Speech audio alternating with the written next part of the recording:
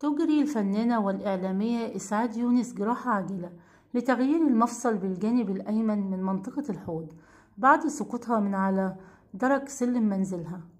تم نقل الفنانة إسعاد يونس مقدمة البرنامج الشهير صاحبة السعادة بشكل عاجل إلى المستشفى لإجراء الجراحة العاجلة وهي الآن في مرحلة التعافي. طلبت الفنانة إسعاد يونس من محبيها عبر صفحتها على فيسبوك الدعاء لها بالشفاء. أشرف على إجراء الجراحة الدكتور عمر سليمان في مستشفى دار الفؤاد حيث تم إجراء الجراحة العاجلة لها وهي الآن في مرحلة التعافي.